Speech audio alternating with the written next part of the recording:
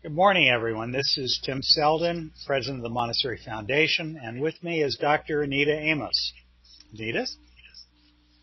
Hi, yes, um, great to be here, and with me as well is my husband, Robert Amos. Hi, everyone. Thanks for joining us here today. And we appreciate everybody. There's about 100 of you with us at this point. point, and uh, this is the fourth in our series of five webinars about parent communication, uh, record keeping, using a tool like Montessori Compass to really bring the message of the intangible home. So um, we'll get started. And uh, let me just explain the basic ground rules for any of you who haven't been part of it before. The first is we are recording this. And at the end of the session, assuming all goes well, I'll convert the recording, I'll upload it, and as soon as it's there, I'll send out a link to you all to the two parts. Each webinar is two hours long. We like to stop every 20 minutes or so to encourage you to do a yoga posture or run in place or lay down in savasana if you know what that is or hug your dog or get up and get a cup of tea, whatever works for you. Um, we'll also have a few polls, which are intended just to be a small break. Um, this is not the end. There's going to be another webinar, and I'll tell you right now, it's going to be at the same time, same place, but it's going to be this coming Friday.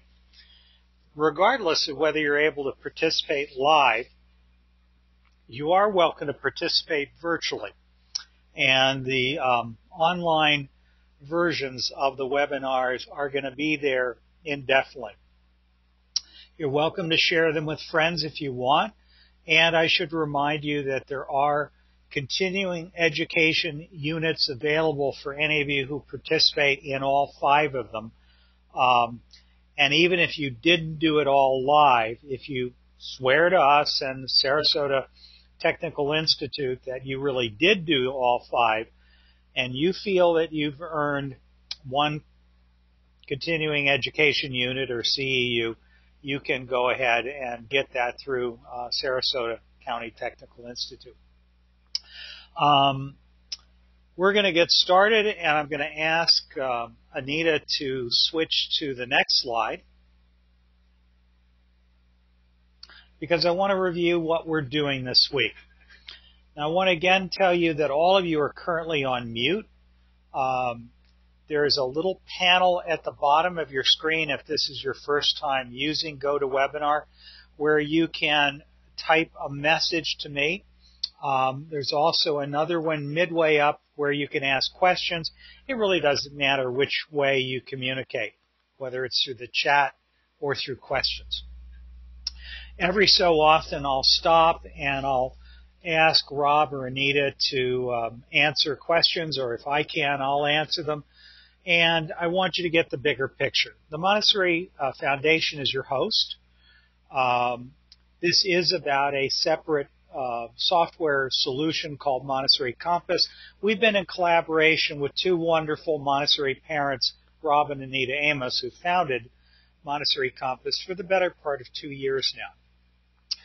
Essentially, what they did is they developed a software solution that if they hadn't done it, we would have had to go out and raise the money to do it for the Montessori community. There's been a number of solutions that are out there.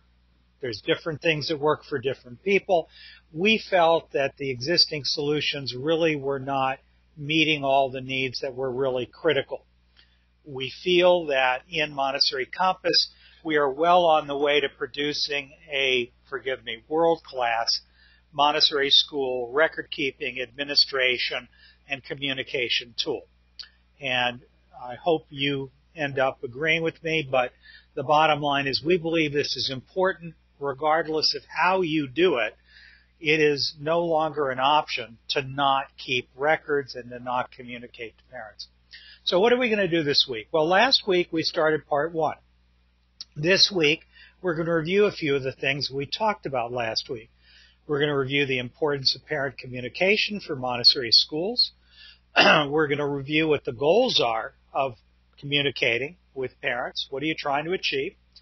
We're going to review how Montessori Compass's communication center gets the job done and how you can use it in different ways according to your preference and style. And we're going to review something we went into last week, which is the daily or weekly activity reports, which really impresses an awful lot of people. It also intimidates a fair number of Montessori teachers, and we'll try to talk about that as well. Then we're going to move into three new areas this week.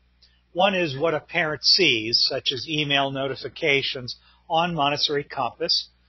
By the way, MC is uh, Nita's and Rob's uh, initials for Montessori Compass.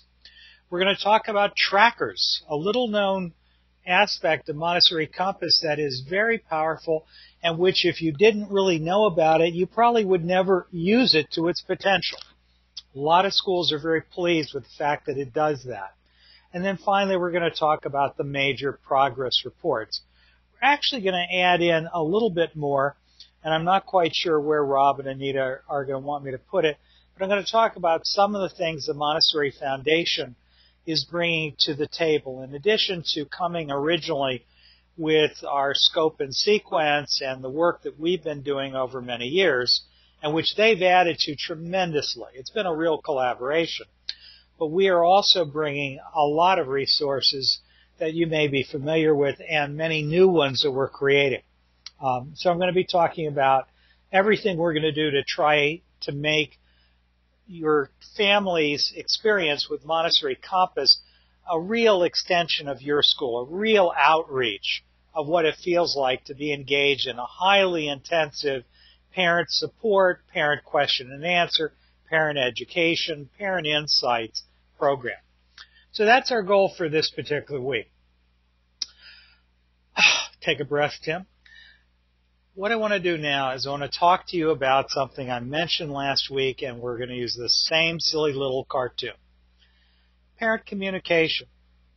The average parent cannot put their finger on what their children are getting out of their years with you.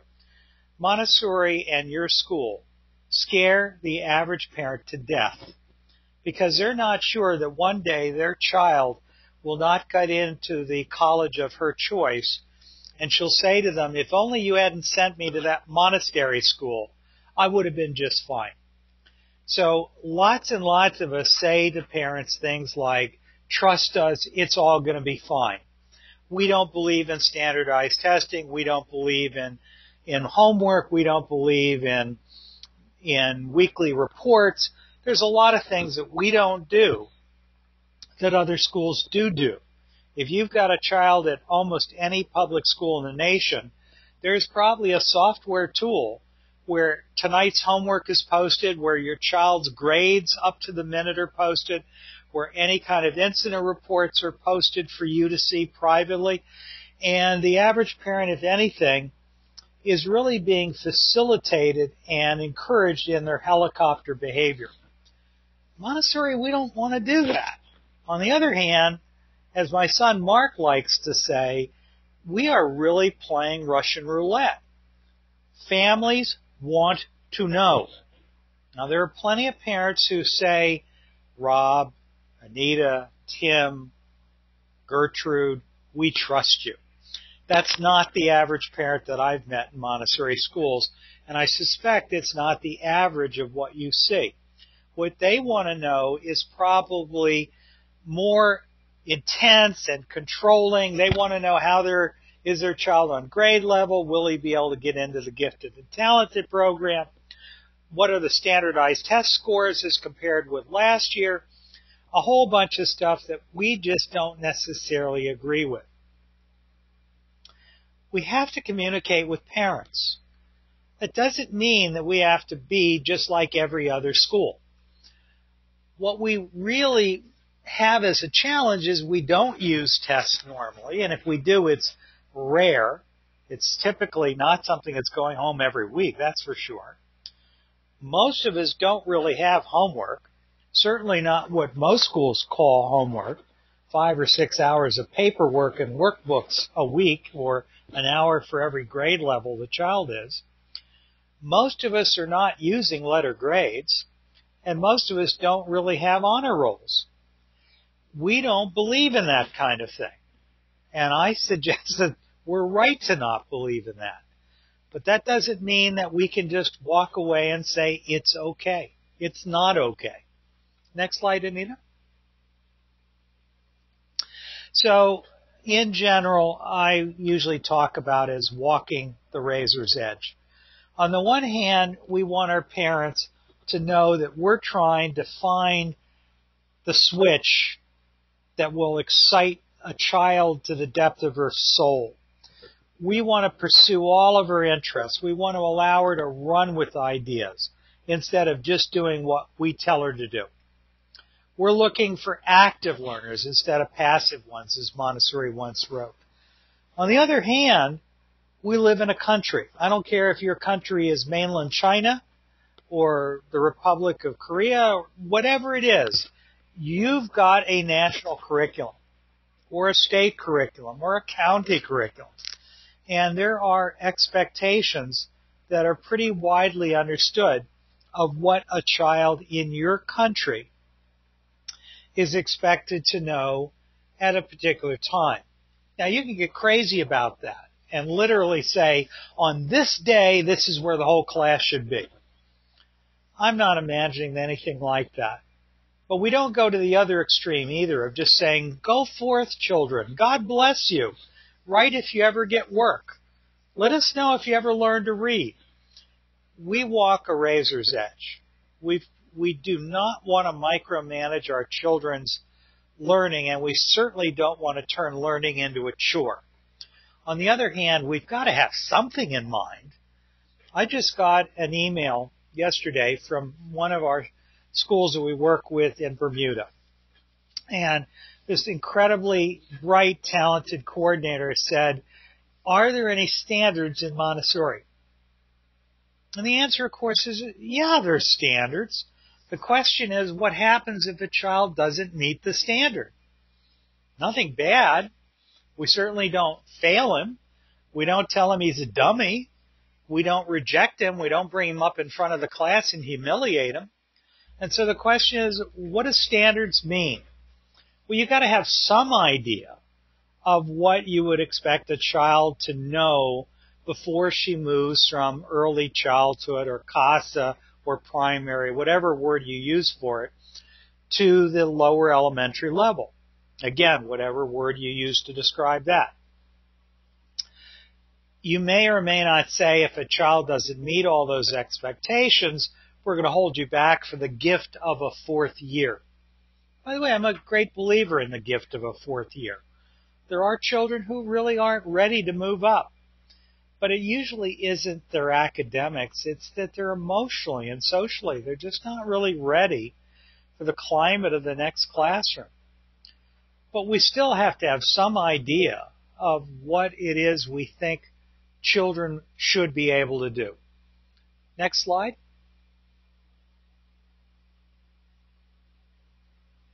Thank you, Nita. Some of you may have seen this last time. This is a image of the way I think of the tapestry of our curriculum. It's only one way of framing it. I should have added in my spiral of Montessori studies but the basic idea on this picture is everything's interconnected. There's lots of different pieces to Montessori.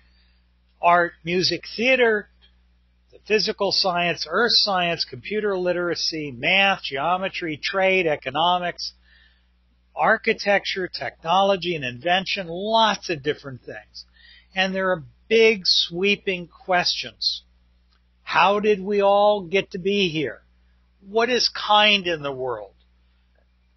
Is humanity, is humanity inherently violent? Are boys and girls really the same? Why are some people poor? Is there such a thing as injustice in the world? Those are all what we call meta narratives, big picture issues. And those issues, those big picture issues are incredibly important and we don't teach things in isolation. We teach as if everything is connected to everything else. One other point is children are moving not as a herd. They're moving as individuals. You may give a lesson to the whole class or to a subgroup of the class, but the difference is that from the time you present something to a child and the time when the child really knows it, knows it well enough that she doesn't forget it over Christmas break, doesn't forget it over the summer, can actually teach it to someone else, can design a way of testing someone else to see if they know this particular thing or how to do this thing. That level of knowledge happens in its own time. That doesn't mean we just turn kids loose and let them go at their own pace without any even attempting to pay attention. Obviously, we're guides. We're guides, and sometimes guides say, you know, we really need to, to move along here. Night is falling. You don't want to be caught out here on this exposed plateau on a cold winter's note, night. You know, or I really need for you to let me give you a lesson to show you how to do this. We call ourselves Montessori guides for a reason. And whether you use the term directress, guide, facilitator, teacher, or some other term, it doesn't matter. A Montessori teacher is not insisting that every child be the same and every child be at the same place at the same time. But we are paying attention. We have to know what we've presented and what our children actually understand and what our children are remembering, what they can do in real time. Actually apply it in the real world. And we want to know how they understand it. How all of this happens will be the subject of still another series of webinars that we're planning for you all. But for the moment, just take my word for it. We've got to track it, and I think you know that too. So, Anita, let's move on to the next slide. So, Anita, remind me, is this one me or you? This is me. I, I know now. This is me. So. That's right. Yep. okay. Um, here I want to start by just reiterating something that I experienced in January. My um, almost second to youngest daughter is Chelsea Howe. Chelsea has two beautiful kids, and in the middle of last January, her caregiver, for whatever reason, left on very short notice, and all of a sudden she's got a 10 week old child and an 18 month old child and no one to care for them. Chelsea is a psychologist and she works for the Montessori Foundation, and some of you have seen things she's written. Chelsea was in a scramble, and so we made a bunch of calls to the Washington area, and we finally found one of our friends who had room for both children. 10 weeks old. Can you imagine that? So the first day, Chelsea calls her mom and I up, and she's absolutely ecstatic. And this is somebody who hangs around Montessori schools all the time, who has been out in the field and done consulting and spoken to schools ad nauseum, and was a Montessori child herself. What really thrilled her was within an hour of dropping her children off, the teachers sent her a picture of each of the kids with a very short note. Hudson's having a great morning. You know, Jackson has already got five girlfriends who just adore him. And every day or so, Chelsea gets something from the school, telling them just a little bit what exactly is going on with her kids. It's not a big fancy report. I've talked to her teachers. I assure you it doesn't take them more than 60 seconds to write it. They do it while the kids are napping or sometime where they get a quick break and they do it really fast. And it's about as difficult to do as your kids find it to upload a picture to Facebook. It is that easy. It absolutely blew Chelsea and Mark away. And it's exactly the kind of thing that we mean by engagement part of what Montessori Compass in is is a container for the scope and sequence that we collaborated to produce. Part of it is the alignment to the Common Core standards so that if you care about such things or if somebody demands the information from you, you're going to be able to show what your children are doing compared against the national Common Core standards. Now, we don't like that. We don't like big government. We don't like government interference with schools. So please don't hear me as having just sold out to the world of big government, big education. On the other hand, parents need to know. And it's, I think it's a, a mistake to hide from it. So while I would never teach to those standards, anyone that's running a good Montessori classroom will normally meet and exceed those standards just by doing pure Montessori. So if you wanted to focus on those standards, you could, but for most of us, we only look once a year, if that often. You want to engage your parents, and engaging your parents is a lot of things. It's the little things like uh, the school does that uh, Hudson and Jackson go to, sending little notes home. It's sending home notes about the things that children are learning in school um, and sending it in a way that is hard for a parent to miss and easy for them to digest. You want to engage them. Your parents essentially are divided into at least three groups. There's the scanners who look at things and in 30 seconds they're done. And whatever they got out of it, they got out of it. There's the, what I call the three minute reader. The people who scan it more carefully, do a little reading. They look at the headlines, they look at the captions, and they scan over the body text. And they get a pretty good idea of what's in there. And then there's the three hour reader, the parent who's willing to put in the time and the effort to really go through line by freaking line. And those people are awake and they are paying attention. By the way, those are typically the most engaged parents we get. So what we would suggest to you is you want to write in a way that parents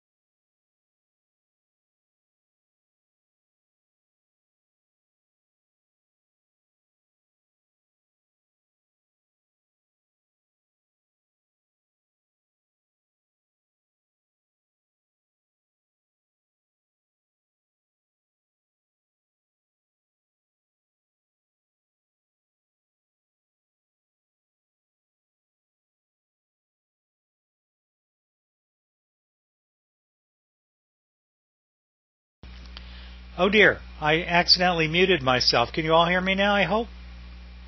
Um, I don't know what you heard or didn't hear. Uh, goodness gracious, I'm not sure what you missed, folks. I'm so sorry. Um, I'm going to ask if someone would type to give me a sense of what you heard last. I'm getting lots of people. Sonia is telling me my internet's down. Thank you, Sonia. Shelly too. Everyone. I don't know what I did that did that. So I was down for about two minutes. I will. Anita, did I did it go down while I was on this slide? Okay. Well, I guess the good news is no, there is no good news because if you couldn't hear it, it's not being recorded. So let me just pick up then with what I said, and I do apologize, everybody. I don't know how I managed to do that.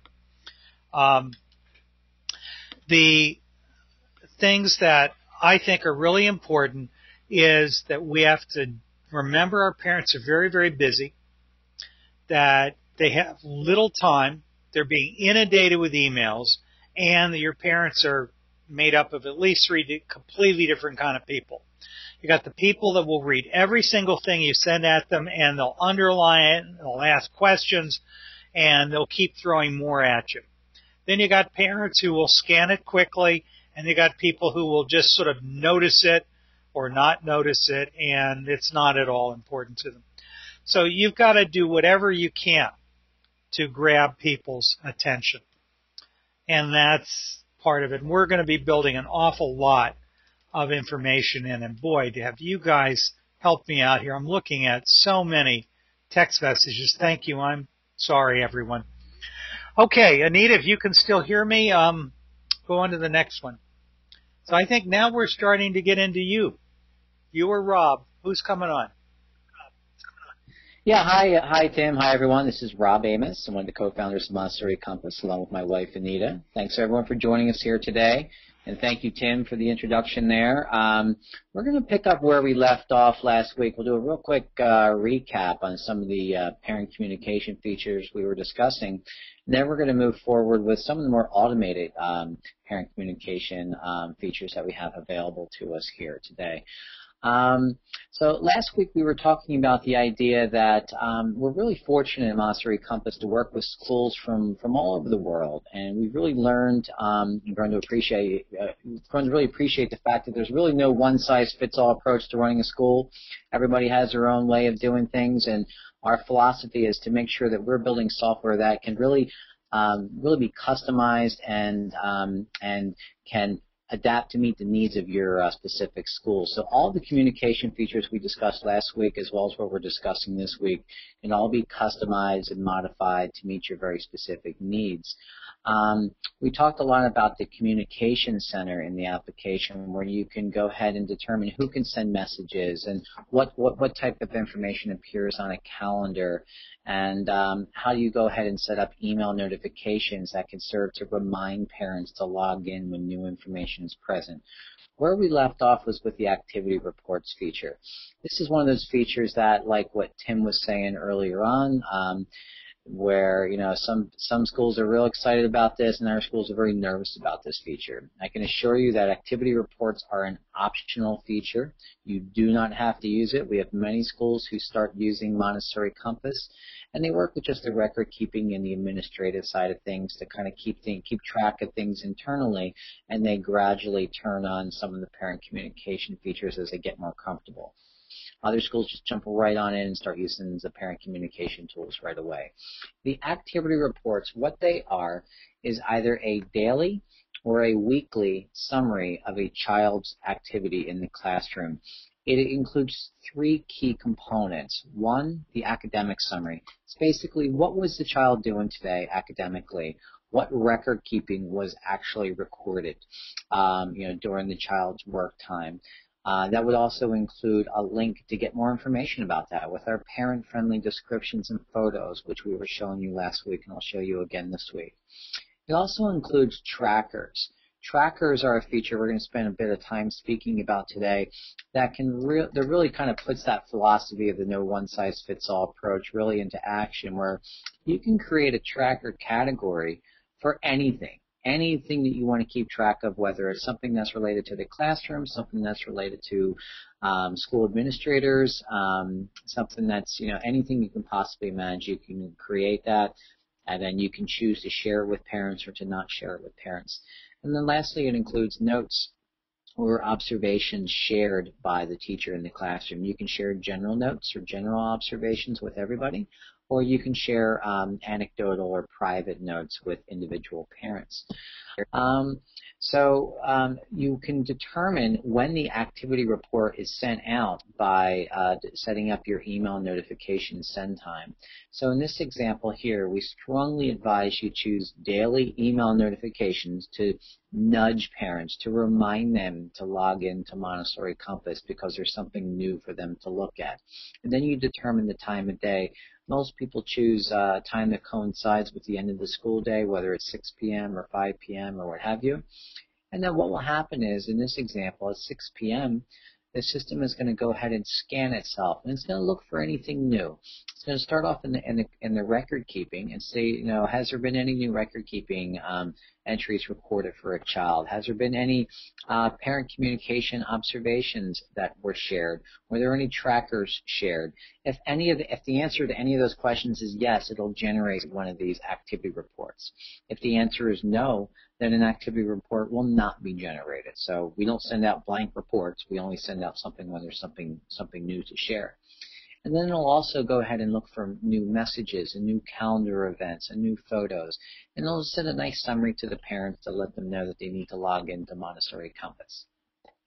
The types of customization that you have here are um, you can choose a daily summary or a weekly summary, and then you can choose to include record keeping, or we have some schools who don't wish to include record keeping. You can turn that off, and then what would happen is it'll only share the observations from the teachers, but it won't actually share the record keeping.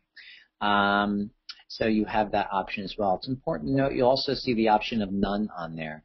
All of the parent communication is set to none by default. So out of the box, we do not share anything with parents. You have to choose to make a decision whether or not you want to share, and that's an administrator level feature only. And someone with administrator level credentials can go ahead and decide what they want to do here in terms of setting up the parent communication. Um, so what we're looking at here is the parent communication tab on the daily dashboard. If you were a current Montessori Compass customer or a new customer or participated in one of our other webinars, um, you probably know that most of the action in Montessori Compass, so it's a very big system with a lot of moving parts, most of the action really occurs in the daily dashboard. That's where all the data is entered from the classroom, whether it's record keeping or attendance or observations and so forth. What we're looking at is the parent communication tab, which is this is how you would share a brief note with a parent.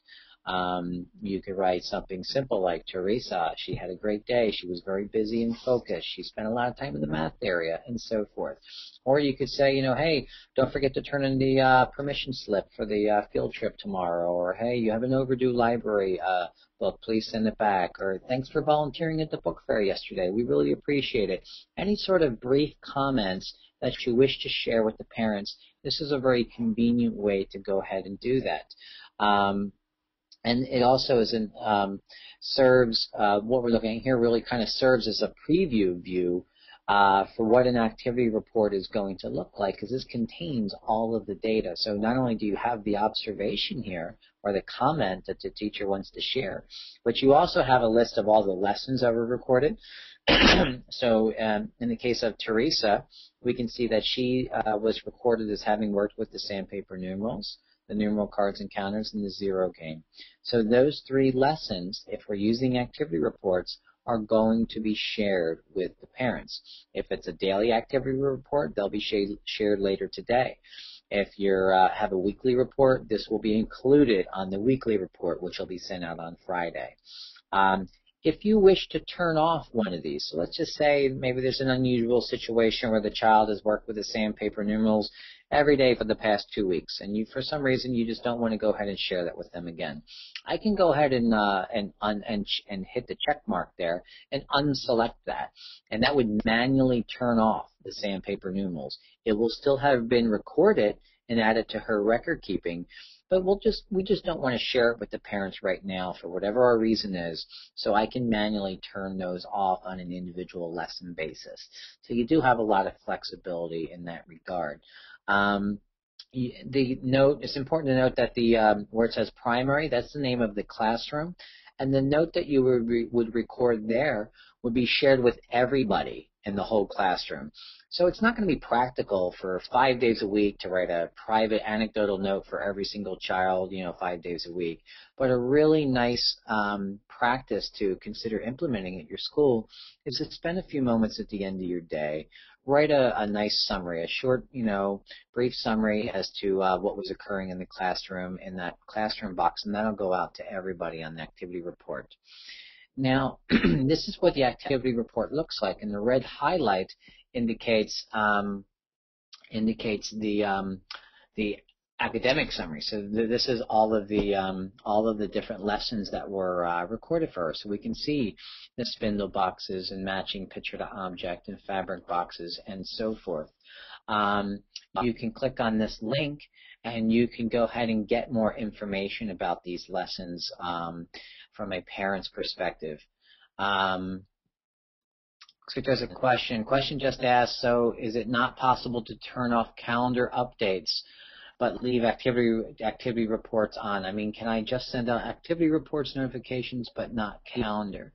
Um, so you can go ahead. I'm not entirely sure what you're referring to here. There's um, ways to customize what appears on the calendar, and there's ways to customize what appears on the activity report. So let's let's go ahead and break those apart. First off, by default, when I'm doing my lesson planning, um, and I plan a lesson in advance, whether it's a day in advance or a month in advance, a lesson that I would uh, would go ahead and plan would um, automatically post to a classroom calendar, which is shared with parents. In our communications center, we have the ability to turn that on or off. So um, if I want the parents to know what lessons we have uh, we have scheduled for tomorrow, I can keep that turned on. If I don't want them to know what we're doing tomorrow, I can turn that off. With the activity reports, I can choose to share the record keeping that has occurred. Now we're in past tense. An activity report is saying what happened already. So we've gone ahead and turned that off. Um, so you, you, have the ability to show show what, what has occurred in an activity report or to not show. Um, you also, what we're looking at right here is the notification that the parents receive. And um, this shows us here that the following updates have been posted in the past 24 hours. You have one new activity report. You have 13 new photos.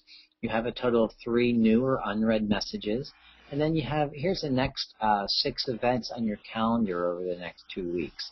So these events have already been posted to the calendar, uh, but we're just reminding them that these events are coming up. These are not planned lessons. These are just regular um, school events on the calendar. Um, so getting back to um, to what we were saying with the, um, can you flip me? Uh, here's another question. We currently use the weekly report. Is there a way to have the comments and the communication be dated? As I understand right now, comments do not have a date attached you can just simply go ahead and add a date to each comment if you want to say, you know, Monday dash and then have your comment, you know, Tuesday dash, Tuesday colon, whatever, that would be a way to do that. But these are just text boxes that'll just go ahead and uh, you'll stack up all of your comments on the weekly report. Um, all right, so moving forward, um, so we were showing, excuse me, this is where our activity um, activities that were uh, recorded um, are going to show up in this summary. If I go ahead and you see how it matches up, so in the, where we have James here in the red highlight, he worked with the spindle boxes, matching picture to object, fabric box, and nuts and bolts. I toggle back on over to the activity reports, and it's presented just like this. And then I also have the ability to click on the link that says information about these lessons And this is where we get into some of our um, parent education here, the concept of educating the parent alongside the child. So James had these four lessons today, and we're letting the parent know what was involved with these lessons. As part of the scope and sequence that we make available from infant through age 12, we have um, parent-centric descriptions, and in some cases we have images that go along with them as well. These are not meant to be full presentations of the uh, lesson. These are meant to be uh, to, to just be a means of helping to educate the parent. Um, and uh, we specifically have photos uh, for the primary level in language, mathematics, practical life, and sensorial. Um, and we're working to add additional photos as well throughout elementary. It's a question. Um, when and how do parents get notified if a calendar entry was updated? So the um, calendar is going to be a, um, a uh, dynamic real-time update. So if you have an event that is um, scheduled for next Wednesday and you changed it to next Thursday, when you make that change, it's updated in real time. So parents, parents should be encouraged to go ahead and always check the current calendar. You are able to print out a calendar as well, but it's really a much better practice to view it on the website so that way you have it um, you know, have the most current information. Um, when the email notification is sent out, it would include the, you know, the current up-to-date calendar event. So if it was scheduled for Wednesday of next week and you change it to Thursday, you know, it'll be the, the next time an email notification is sent out, that will be updated as well. All right. Um, so what we're looking at right now is, um, yeah. Oh, these are the notes. Okay, so now we're talking specifically about the notes. We were talking about the concept of you can have a general classroom note in the classroom box, and then a private or anecdotal note in the student box, and those appear down at the bottom of the activity report. So you see up at the where it says notes, the first comment that we see is the, is the, is the classroom note that went out to everybody. So from a workflow standpoint, the teacher went in at the end of the day and just wrote a quick little note to go ahead and share with everybody. And then, so that's such a busy Friday. We spent a lot of time in the outdoor classroom today enjoying the beautiful weather. That note was written one time in the in the classroom box, and then was shared with all 20 students, whoever was whoever was marked as present today. Um, the second note, where it said James had a busy day, that is a private or anecdotal note, and that is only shared with James's parents. Nobody else is able to see that note. And this is um, an example again of the email notification. We've talked about this. So now we're going to go ahead and move on to the idea of trackers. So a tracker is just a way to go ahead and, and keep track of any sort of administrative. Um, you know, Rob, before you go any further, take take a breath. Let's let everyone do a stretch before we get into trackers because we've been running for 40 minutes or so. Is that okay? Absolutely.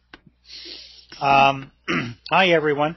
I see that I've got a few people have their hands raised. Is there anyone that's feeling that they would like to speak live? I see Christy, Patricia, and Vincent have their hands raised. Send me an instant message if you do want to have the floor and I'll give it to you. And in the meantime, I've got a poll for you because polls are fun, right? So here's, here's a poll. And um, hopefully you'll all respond to that while you're taking a quick break. We're stretching. We're going to come back in a moment or two after you get your tea or coffee or water. And you can respond to the poll. Last week we were getting 20% voting every five seconds. It was amazing how fast you guys did it. We're up to 28% now. I should do a poll on how well is this working.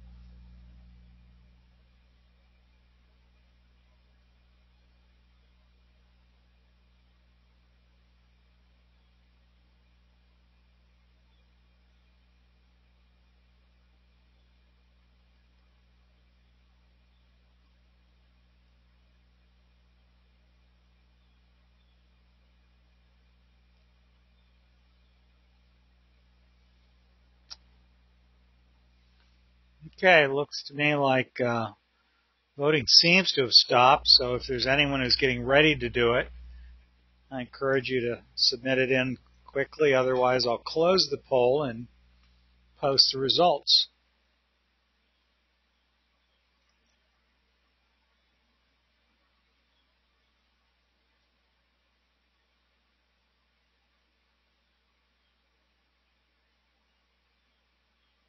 Yeah, seems pretty pretty stable. No one else doing anything. So I'm going to close the poll and I'll share the results. There you go. We are always evaluating our progress, their progress. 52% of us. That's terrific. 14% daily. Very interesting. And in the meantime, is there anyone who would like to um, have an opportunity to have the microphone and speak live. Well, I'll just do it randomly. Vincent Duffy, I hope you're there because I'm about to give you the microphone. Vincent, are you there?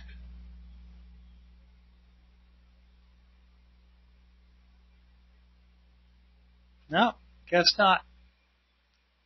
Nothing from Vincent.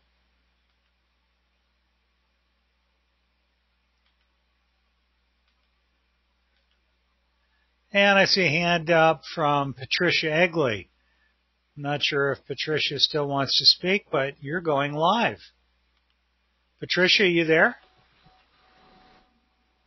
Okay, are you there, Tim? Yeah. Hi, how are you? Well, I'm just fascinated by this way of uh, having this opportunity of learning new things. I'm glad. So did you have a question you wanted to ask? Not anymore. You have already answered it as far as uh, uh, you were speaking. Very good. Thank you. Thank you. All right. So there you go. And it looks to me like that's all we had as far as questions for right now. So, um, oh, and I see Patricia sent me a note. Thank you, Patricia. I'm sorry I didn't see that. Um, so I'm going to close the poll. This will, of course, be in the video, I believe. Um, and we'll move on. Rob, you uh, ready to continue onward? I am, Tim. Thanks. Um, I'm thoroughly stretched and hydrated, so uh, let's see if my voice will hang in there. Um, so we're going to talk about the trackers um, a little bit more in uh, in uh, detail. So it's a real versatile feature that is just great tool for uh, school administrators to go ahead and keep track of um, any sort of paperwork you might need to keep track of, enrollment form, tuition information, on any of the sort of day-to-day things that you might need in the office.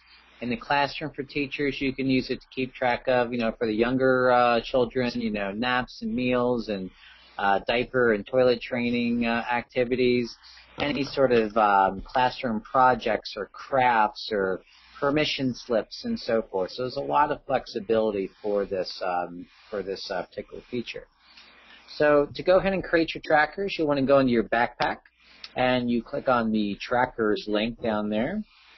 And then you'll be presented with your uh, tracker categories. You can click on any of the categories to open that. You can see the number of trackers and then whether or not a specific category is shared with parents. So I can see with that first one, diaper and toilet training, it says four trackers and it says shared with parents. Uh, that means that anything I put into that category can be shared with the parents via the activity report, the daily or weekly activity report. The second category says enrollment forms. It also says four trackers, but it does not say shared with parents. So that means anything I put there is just for internal use. Um, so when I create a new tracker category, I go ahead and give it a name.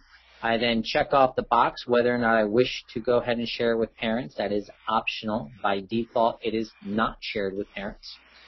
And then when I create it, then I create my individual trackers um, underneath each category.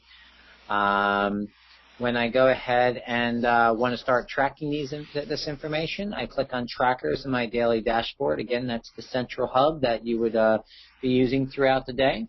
And let's say I want to keep track of a meal. Um, I would go ahead and do a search for my different trackers. I select the tracker I'm interested in, and then I will go ahead and be presented with a list of all the students.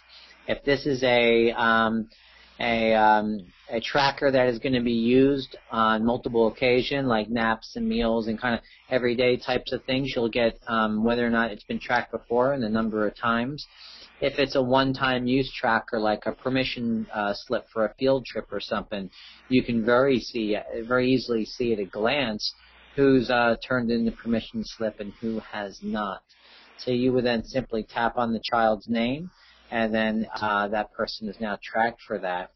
And then back to the parent communication tab in our dashboard, you can see a list of all the trackers that were reported today. Again, this, this provides a nice preview screen for a teacher or administrator to view the data that you're about to share on a daily or weekly activity report. So if you want to make changes, if you want to unshare a tracker, just like we I showed you, you can unshare an individual lesson. You can check that box, excuse me, uncheck a box, and that will go ahead and unshare the tracker. Um, and then this is how it's displayed to parents. I have a trackers um, section there in the middle, and then there's my category, there's my individual trackers, and then you can also comment on trackers. Um, we work with a lot of schools that have paper templates, um, paper documents, uh, especially for the younger classrooms. And there's, um, you know, a pre-formatted template for, you know, naps. I had a great nap today. I had a, I had an average nap, or I, I, I wasn't interested in napping today. You know, those sorts of things. Same applies to meals or feelings and mood and um, you know, diaper and potty training and things like that. So there's a lot of kind of paper templates that we've seen that schools use. You can duplicate exactly what you're already doing on paper with these trackers. And a big difference is um, you're sharing it with parents you know, right there in real time, and then you also have a historical log, so you can go back into.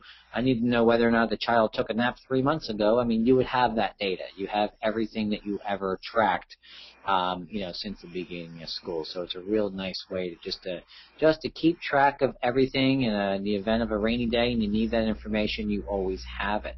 Um, and then you can go ahead and share whatever comments. And some of the stuff is very relevant from a parent's perspective. Things like whether or not the child's eating their lunch. This is a good way to share that information. What kind of a nap the child had. I'm a parent of four children, and I can think of, you know, when when my younger ones have gone to school. Do you want to know whether or not they had that nap today? Because if they didn't have that nap, you know, look out at dinner time. They're going to be, you know, climbing up on the table. So, um, you know, it's a really good information to be able to share this information with uh, with uh, parents. Um, moving forward here, we're going to get into progress reports, but this is um, another good kind of break point if there was any questions about trackers before I move forward here. well, let's see if let's see if there are any questions. Uh, one person is asking if there's a spell check, Rob.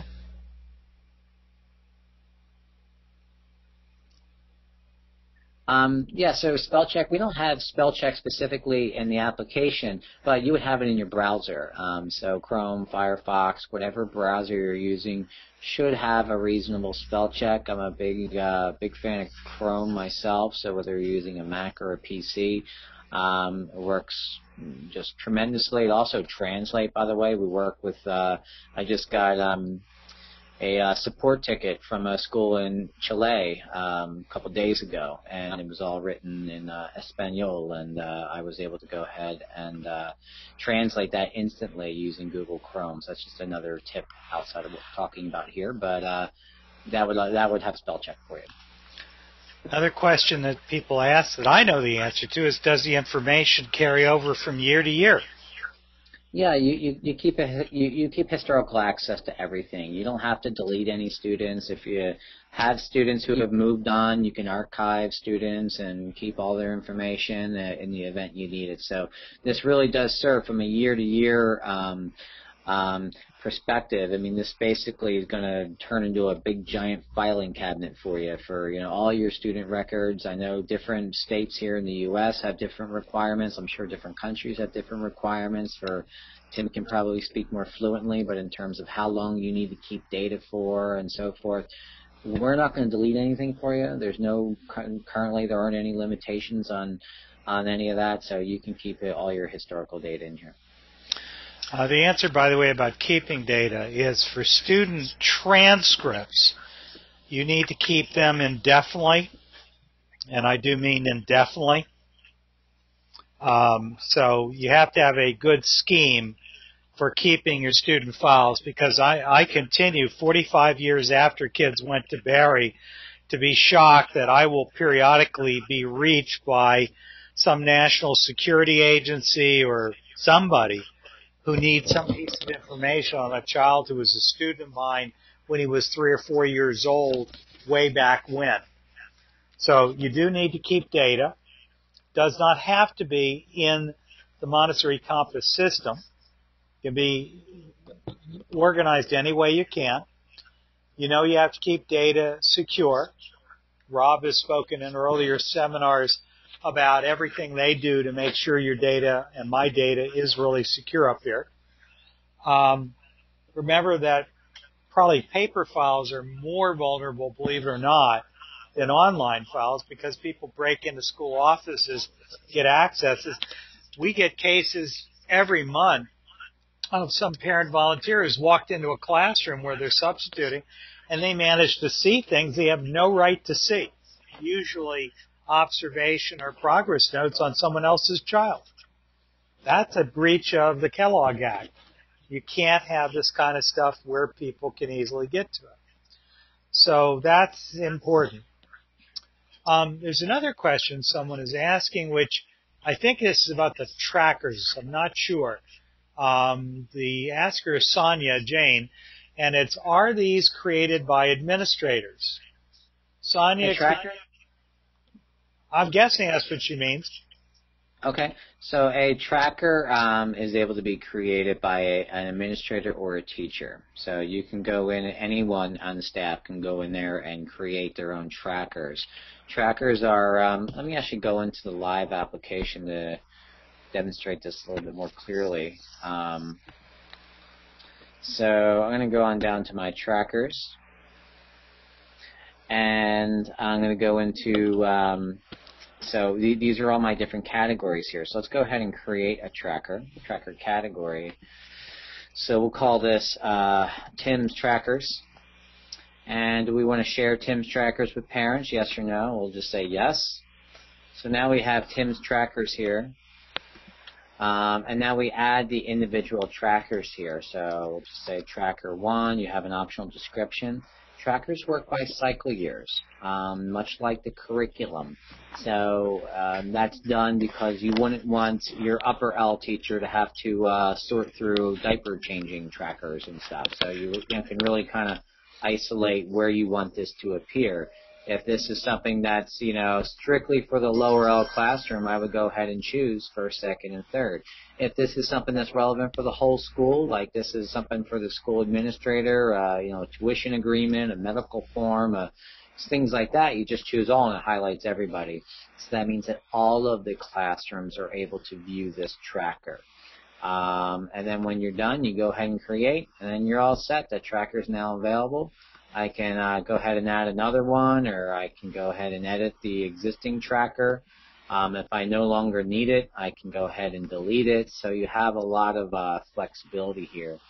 You can also run reports on trackers as well. I could go into reports, and this is more of an administrative thing um, than it would be for the day-to-day uh, items. But I can go into a trackers report, and I can go ahead and pick any of these categories here, enrollment forms, um, and see who's been tracked and who hasn't. So the emergency contact form, check. Health assessment form, check. Medical release, check, and so forth.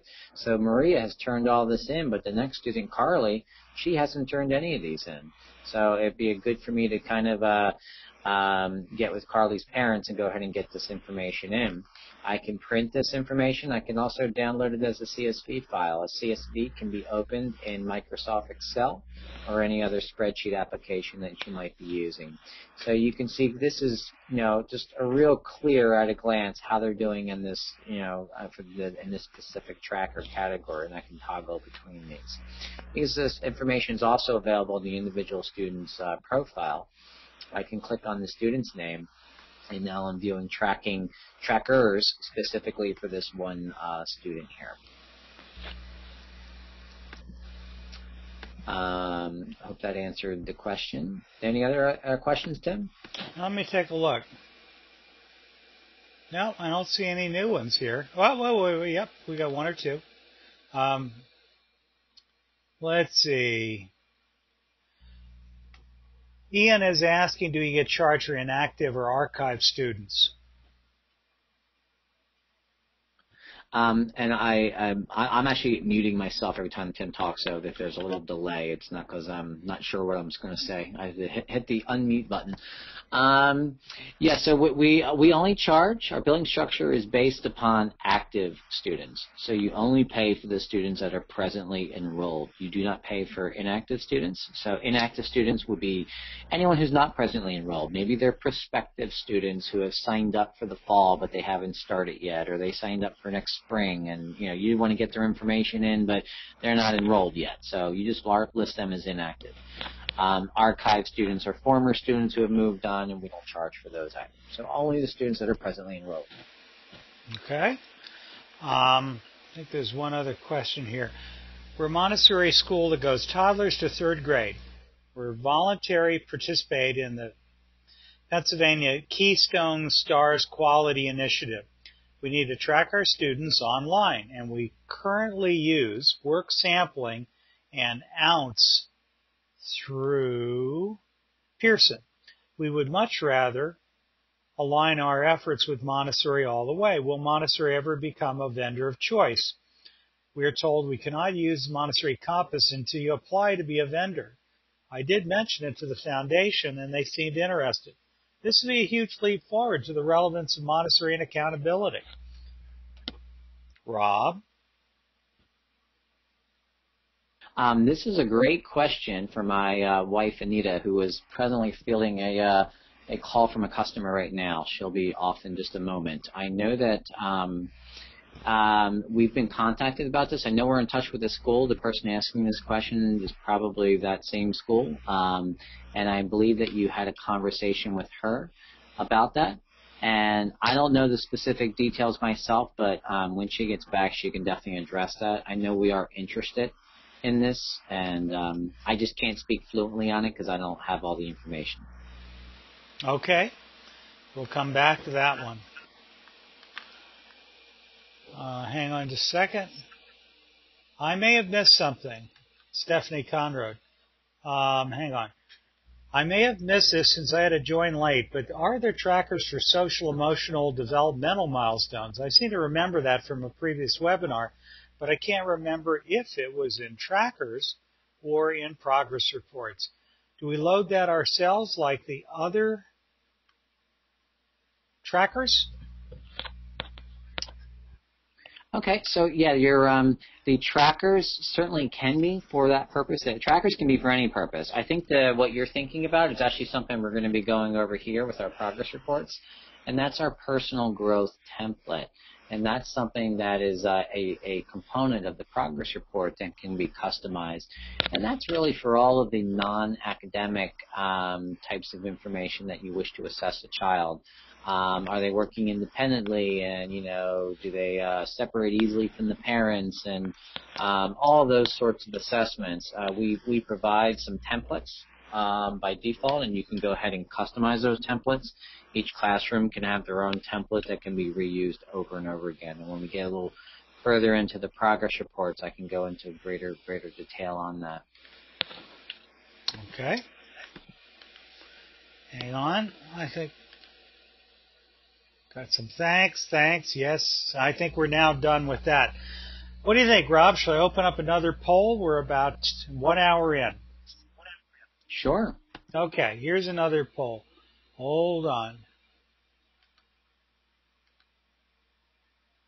So these are all just very simple things. Hopefully you can see it.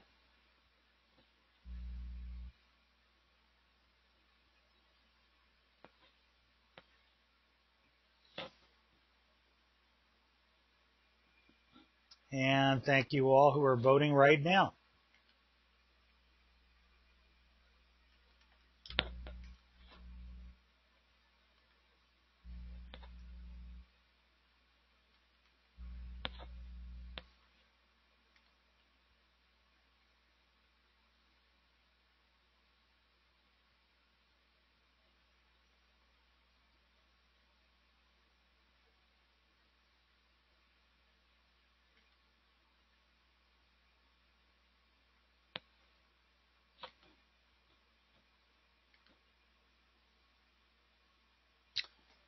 Looks like about 74% have voted, and I don't see any other people coming forward. So I'm going to close the poll, and I'll share the results. Hopefully you can see that.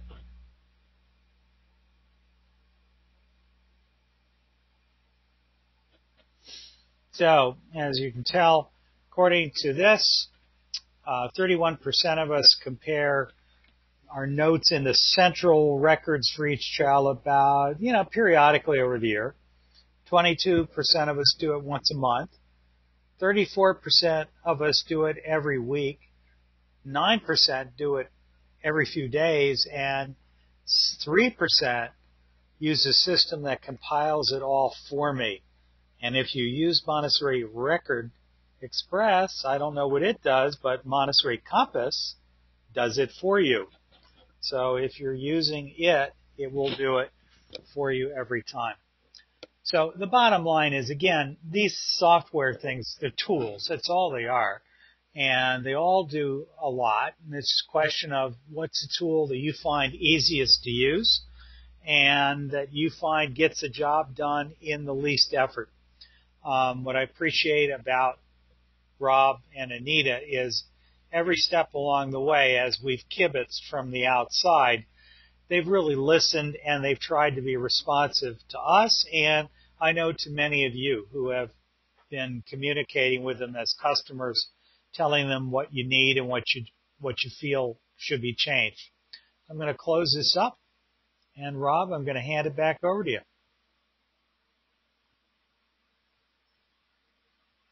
All right, Tim.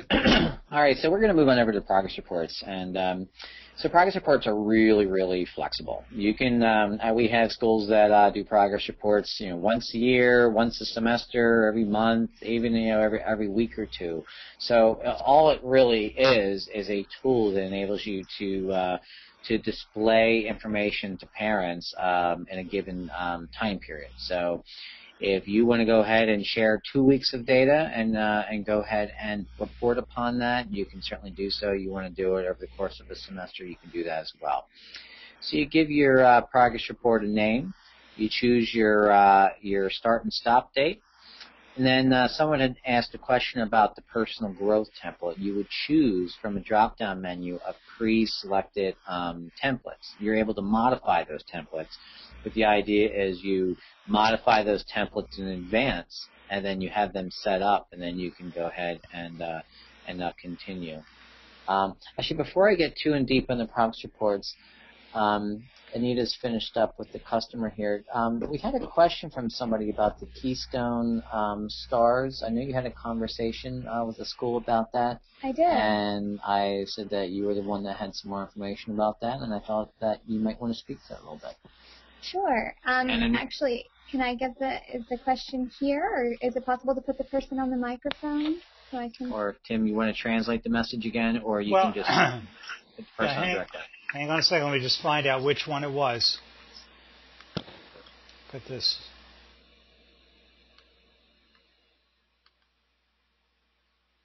Uh, I've got to track back to find out which one it is. Uh, this was Leslie Delgado. Leslie, uh, would you like to get online?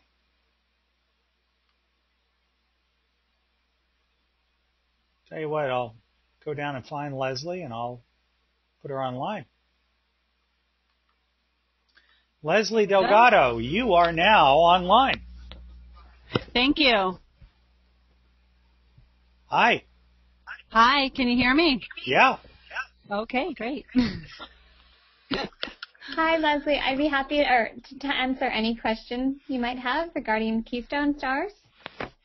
Well, what I was thinking was that I didn't ask this question to Montessori Compass, but I guess they did connect me to you from the foundation. This is Anita. I recognize your name. Yes, hi. Hi. Um, w- yeah, we're just very, very interested in using Montessori Compass it just makes sense. You know, we really don't want to continue using a vendor that's not really suited toward Montessori. Yes, um, and we are we um, definitely pursuing um, approval for okay. to become a, a, a licensed vendor. Um, so that's going to be a, a, Tim and I have discussed this, and we're moving, you know, full full full speed ahead with getting approved for the for the curriculum and assessment. Um, and then we'll be looking at other state uh, quality ranking programs as well in order to um, you know, be able to be a resource for other Montessori schools in other states as well. Oh, that's fantastic. Um, do you think it's going to be a long time frame? We have to actually um, do this yearly. You know, we have to, you know, get ready to pay again. I think in October. And is that for the Pearson? Yes. Right. It expires every year. You know, every year you have to put in how many students you have and you know pay a fee. Um, but we we don't want to do things in like the middle of a year. We'd love to be able to start fresh, you know.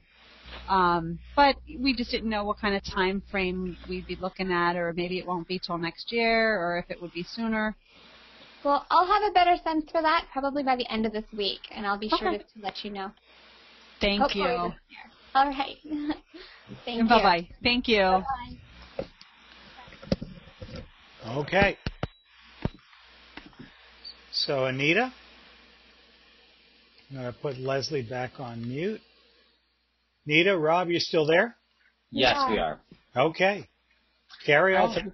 We were talking about progress reports and the idea that this is um, something that you could do uh, once a week, once a month, once a semester, once a year, whenever you want.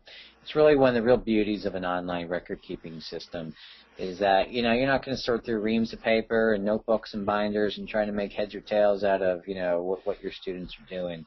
It pulls everything up instantly, and um, you can choose to share whatever you want to share with the parents. Uh, we're talking about the idea of the personal growth template, which can be customized to uh, include any information that you would like. And then you can also show, if you look here, there's different check boxes down here at the bottom. You can either show a summary tab or a more comprehensive tab.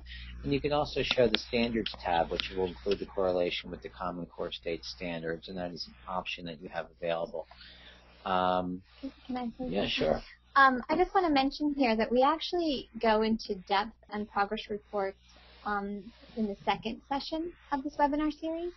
And in this particular session, we're, we're going to be mentioning progress reports as an additional tool for parent communication, kind of on a shorter scale. So we've had schools express to us that the daily and the weekly activity report doesn't doesn't really mirror what they're currently doing. And actually, they do monthly reports, or maybe they do bi-monthly reports, or maybe it's every three weeks.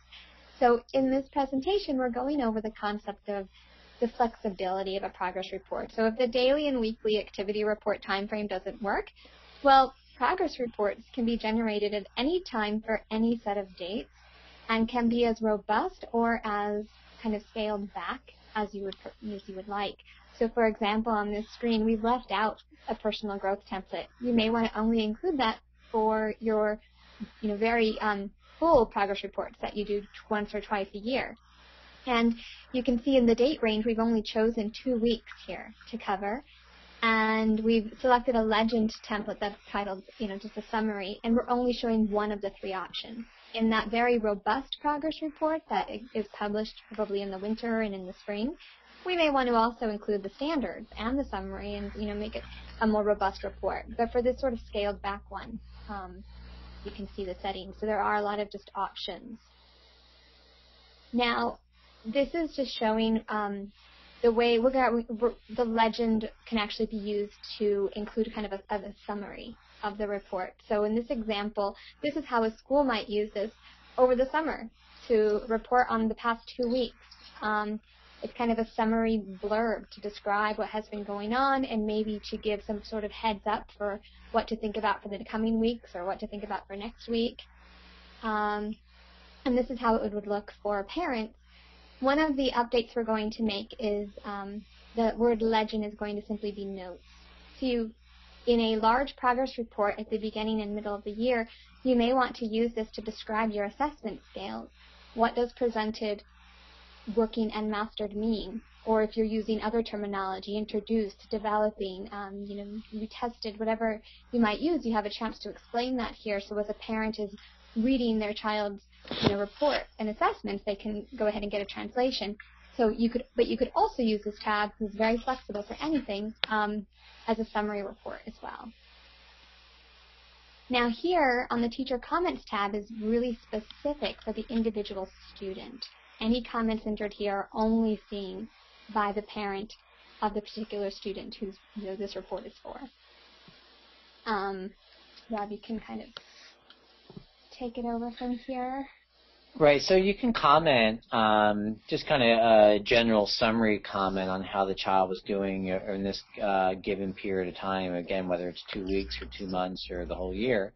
Uh, you can comment on the certain sections here, the certain areas of the classroom or categories. We only display the categories if the child had a minimum of one lesson. So if the child, you know, if we have art, music, and movement, geography, and so forth, if the child did not have any geography lessons in the given time period, geography wouldn't be on the list. We're only interested in letting the parents know about what the child has worked on, not what the child has not yet worked on. Um, and then you can go ahead and, and add custom comments on each one here. Uh, for, the, for, the, comprehensive tab, we really go into uh, give the parents a lot of information as part as part of the scope and sequence. Um, we provide a detailed description about what the category is. Um, in this case, we're looking at language arts, and you have a nice description here about what language arts is um, that would be cycle year appropriate here. I believe we're looking at a primary one right here. So the process of learning how to read should be as painless and simple as learning how to speak and so forth.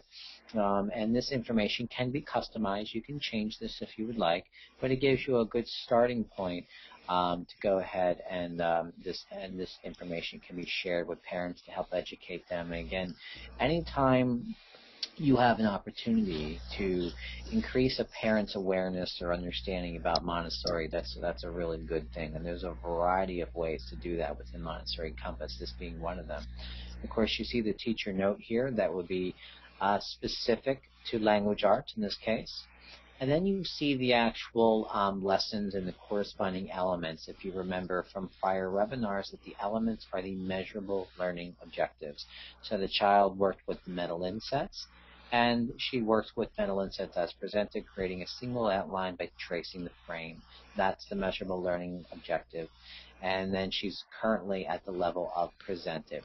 If she worked with the metal insets, uh, you know, six times over the course of this this period here, um, we would only list it once, and we would list the current highest assessment level. So if she's currently at mastered, we would list it out as mastered. Um, so that's um, that's how you go ahead and you share this information with parents. And then we also have a more information link, just like we do in the um, activity reports, the daily or weekly summary of the child's day. In the progress reports, um, we also have that as well.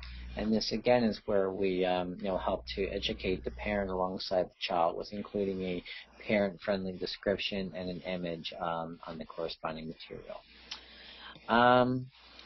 And so those are some of the communication aspects of uh, the progress report. Again, this is not a comprehensive overview of the progress report feature, which is a very large feature. Um, so we have a couple of questions here. Let's see. It looks like we could easily send a sensitive message to all parents when we mean to send it to only one parent. Is there a prompt to prevent us from making this mistake? So that's a good question. So um, you obviously need to be very careful um, when dealing with sensitive information and to double check this. Um, they, there are multiple ways of communicating with parents. So let me go into the application, I think. Um, I want to go into here and explain this. All right, so first way that we talked about was the idea of having the, um, oops, you go into my daily dashboard and you have your parent communication. So we can see that you have classroom observations and you have parent communications. Classroom observations are only viewable by the school staff. It says it right here.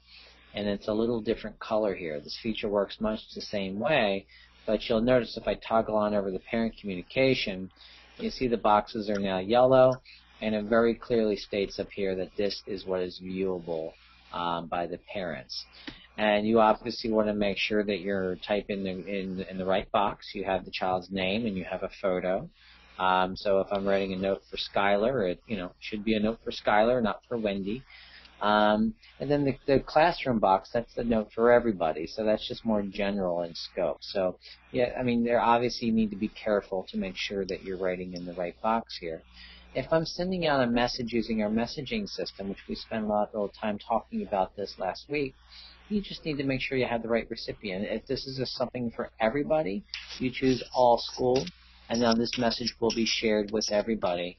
Um, and if you'll see that there's even a confirmation. If I click send a message, it's even asking me to confirm because we recognize that you know it, a, a, a school can be a very busy place and there's a lot of distractions and there's a lot of movement and activity in the Montessori classroom and in a Montessori school in general. So, you know, we want to make sure that you want to send this message to all school. Make sure you've checked it for typos and, um, you know, make sure you're sending it to the right place. Um, so you have that confirmation as well. So you just need to make sure that you're sending it to the right place and that you've uh, checked the confirmation here. Um, specifically related to the progress reports, you're just going to need to make sure that you're choosing the right progress report that you're editing here. It's very clearly labeled as to who you're working with. You see the child's name right up top here um, in the progress report. So as I'm going ahead and typing comment, it's, it's very clear as to which child that I'm working with here. Um, all right, so I think that was that question. There's a, uh, the questions are stacking up here, so I'm going to try to get to everything. Um, I'm on MC trying to find the templates for personal growth, and it appears blank. Um,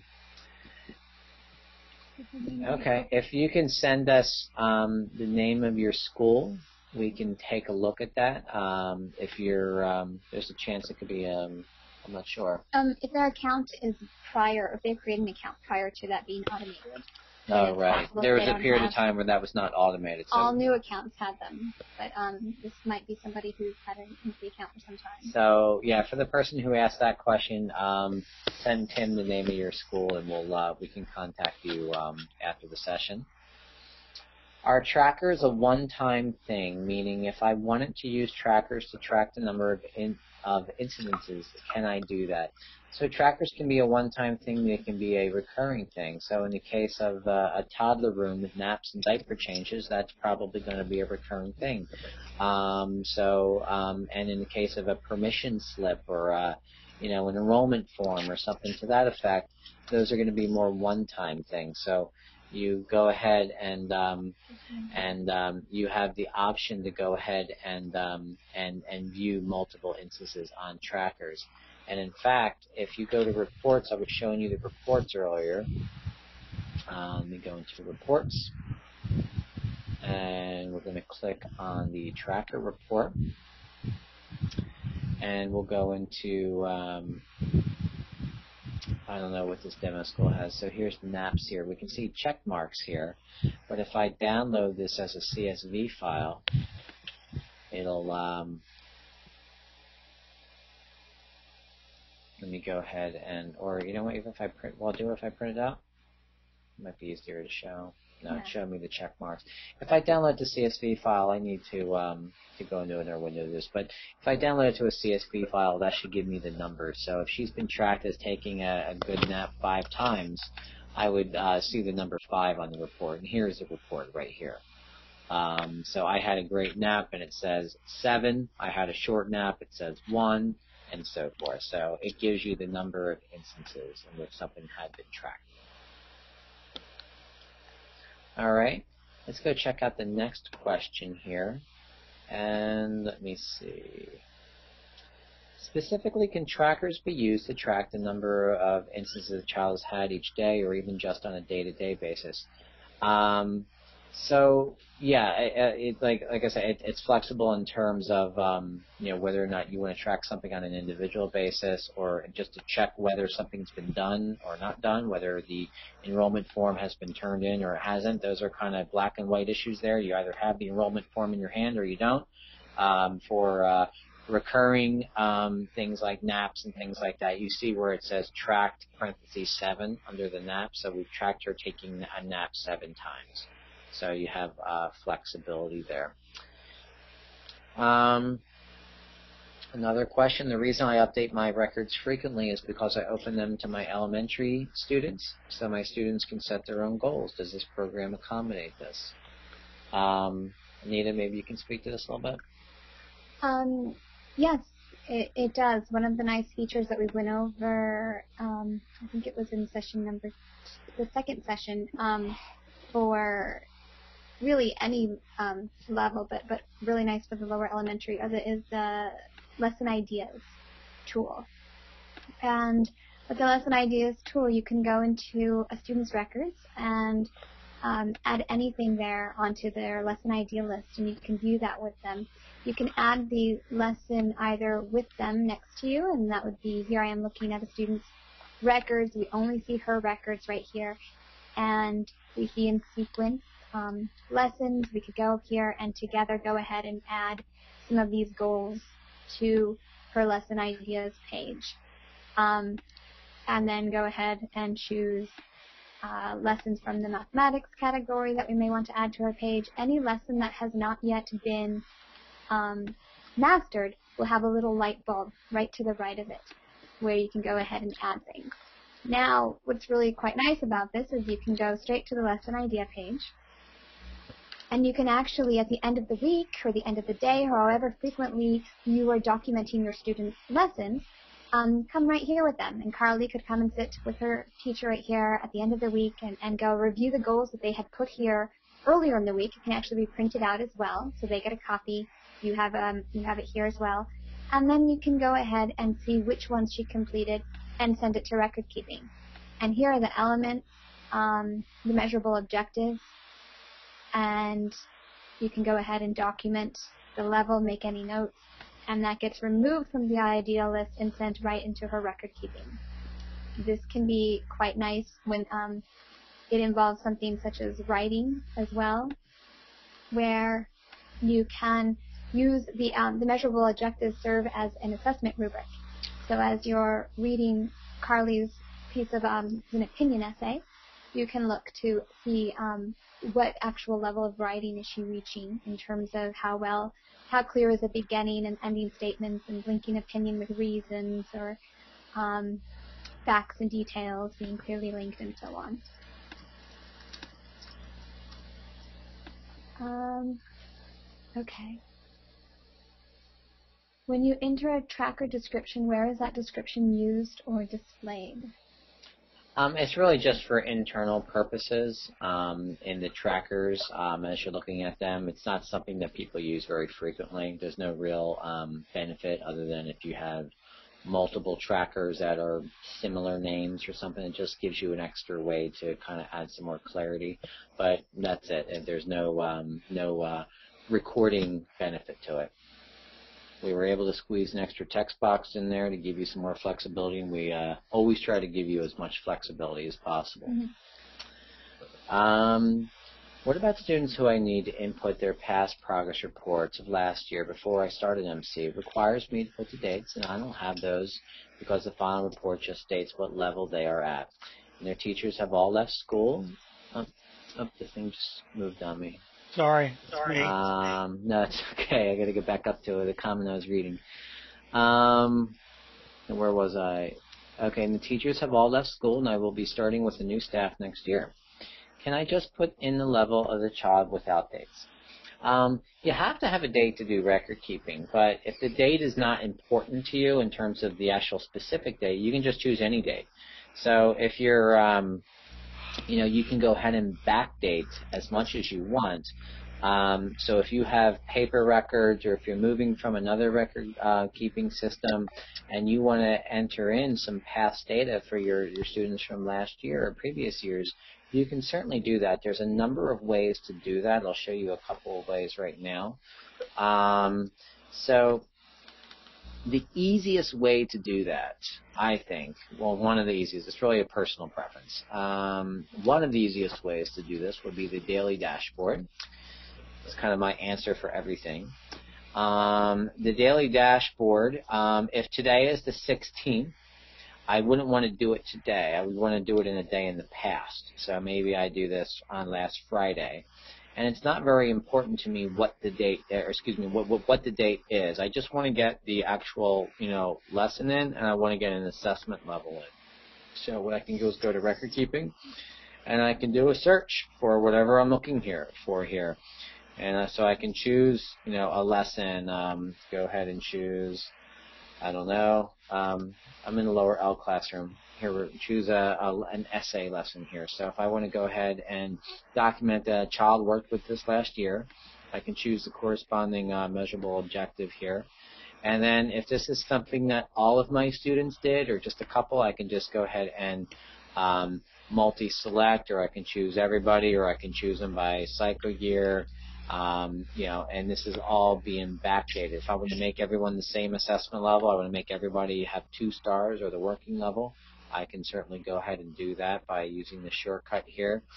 I can also go into the student's profile um, individually here. Let me get into Maria, and we'll go into records. And let's say I'm going to go through and I'm going to backdate the language area of the classroom. I'm a brand new Montessori Compass um, user, and I uh, want to go through here and just look at the scope and sequence and go ahead and backdate things. So here's the language area of the classroom, organized by the cycle year, excuse me, organized in these subcategories here, and I could go right on down the list and add these. I can click Add. I can choose whatever date I want and then go ahead and uh, and actually record it right here. So this would be another way to do it. The the benefit of doing this via the daily dashboard is that you can multi-select students. Um, this I have to do one student at a time, so that can be time consuming. You could also go ahead and do it this way. I can go into my view my scope and sequence in its entirety here. And I can, again, I can go into the mathematics area of the classroom and I can say, all right, we want to go ahead and do some backdating for our primary room. Let's go ahead and backdate the red and blue number rods for everyone who was there last year. Um, so I could go ahead and plan this lesson, or I can actually, excuse me, I could record this lesson as well. So I can plan to go ahead and do it in advance, or I could go ahead and record. So let me go ahead and use my search. I'm going to go back into the red and blue number rods and I'm going to go ahead and click record this lesson. That will then also take me out to the daily dashboard. I can change my date and then I can go ahead and record whichever students that I was working on um, and go ahead and and and, uh, and uh, document that activity. Right now, I'm in a different classroom, so there's a variety of different ways to backdate, um, and uh, it really just depends on what's the easiest way for you.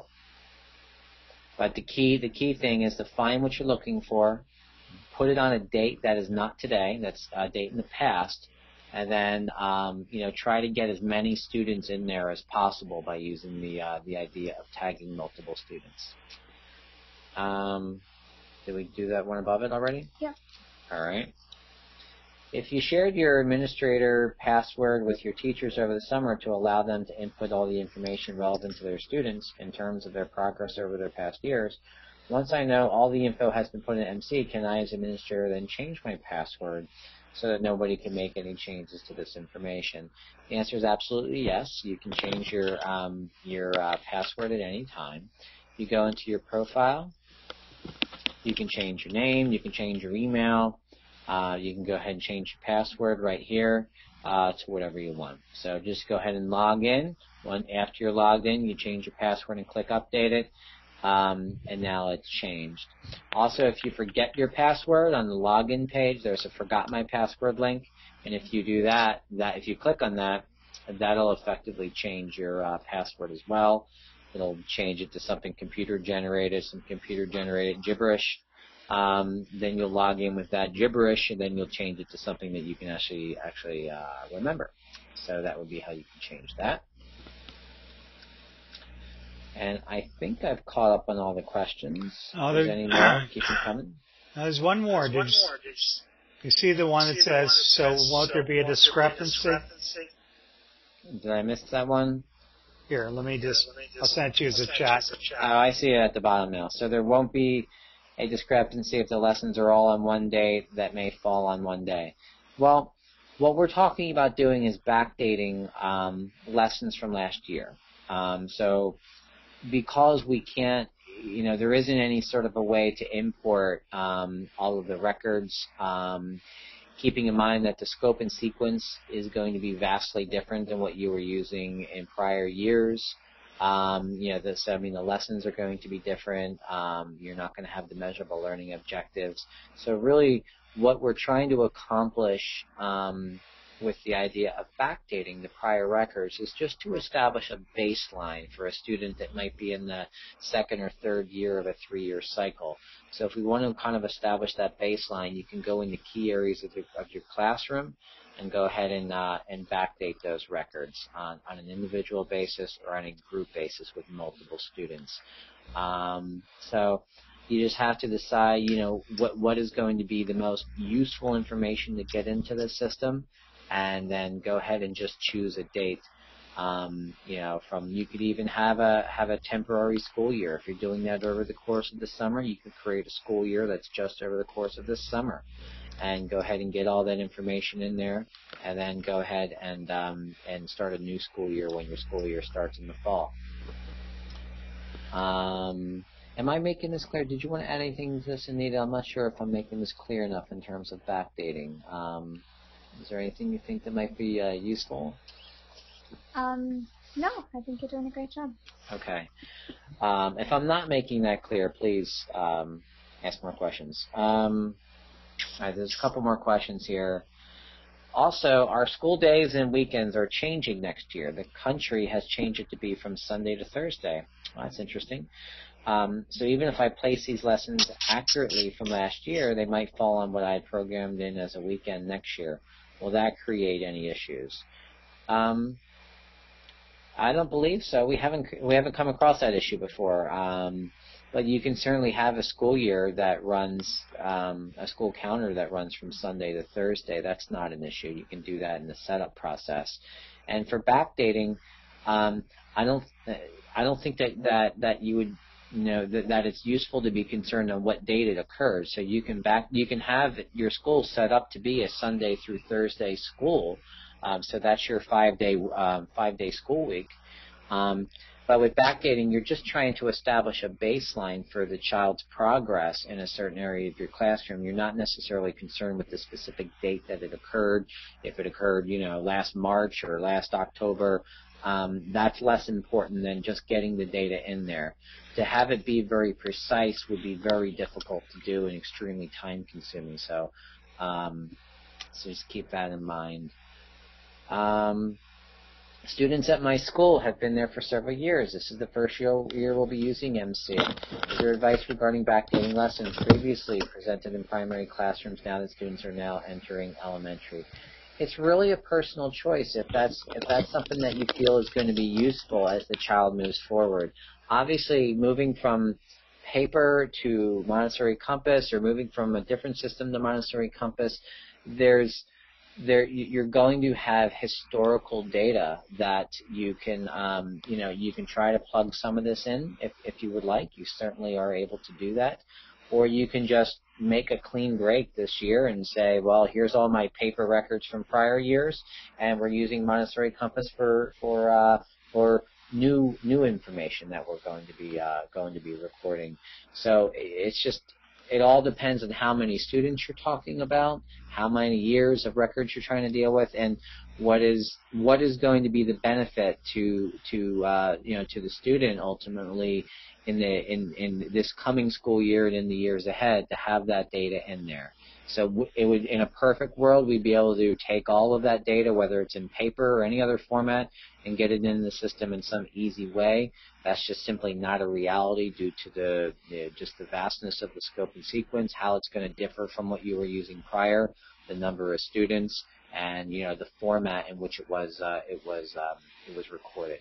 So kind of cherry picking the, the key areas of the classroom that are relevant, that are important for the for, for the student in this new year, important to the to the teachers that she or he are going to be working with. Um, I think that those are things that you know you need to answer you know on a personal level as to what, what makes the most sense for your school. Okay. Um, okay. Any other questions? I know Tim, we wanted to talk a little bit about our parent resources. Um, I can keep answering questions for as long as they keep coming. Are there any others? Yeah, I got yeah, another I got one. Another one. okay. Um, as for the teachers logging in with their own accounts, do they communicate with parents directly, or can the admin look at it before? Look, can the admin look it over before they are posted and are only posted by admin after the teacher's input? That's a personal preference. We give you a lot of ways to communicate. There's a lot of tools in the system, and you determine how you want to use them. Remember, there's no one-size-fits-all approach. In our communication center, you can determine how messaging is going to be used at your school. You can determine, do you want teachers to be able to message parents directly? Yes or no. If you click no, then you need to have administrator level credentials to message parents. Do you want parents to be able to message other parents? Yes or no. Do you want to enable a student directory? Yes or no. So those are all um, features that you can go ahead and decide how you wish to customize those if, if you don't wish to have teachers um, message parents um, directly. You can also, for the daily dashboard and the parent communication comments here, go into my primary room. So as an administrator, I can go into here and I can see if you're if you decide that you're going to use the daily or weekly activity reports, and you decide that you want your teachers to go ahead and to use this for saying, you know, Maria had a great day, and you know, you can go in here and read every single one of these before they go out. Um, it really just depends on the personal um, preference of the school administrator, how you wish to run your school. If you want to set policies in place where these things need to be read before they go out, you can set a later time for them to go out. Um, what we do from our end in the software is, again, you can determine who can send out the messaging. You can also determine when these activity reports go out. So you can push this back to 9 p.m. if you wanted to, and then now they're going to go out at 9 p.m., which would maybe give you more time to go through and read them and make sure that everything is is um, is um, to your to your liking in terms of what the messages are being sent to parents.